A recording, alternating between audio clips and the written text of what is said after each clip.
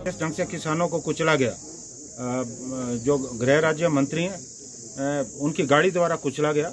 और आज हमने यहाँ निर्णय लिया था पूरे देश में कांग्रेस पार्टी जो है साइलेंट प्रोटेस्ट करी है। हमने आज मौन व्रत जो है गवर्नर हाउस पे रखना था। हमने निर्णय लिया कि हम किनारे में बैठ के हम जो है मौन व्रत पे बैठेंगे। और इसकी सूचना जो है हमने गवर्नर के कार्यालय को कल दी गई थी।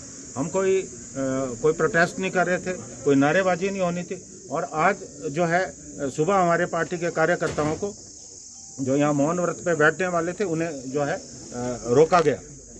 मैं इसकी बिल्कुल निंदा करता हूँ और ये बिल्कुल गलत है। लोकतंत्र की जो परंपराएँ उनके खिलाफ है। विपक्ष को लोकतंत्र में अपनी बात कहने का पूरा हक है और विपक्ष की आवाज़ को कोई दबा नहीं सकता।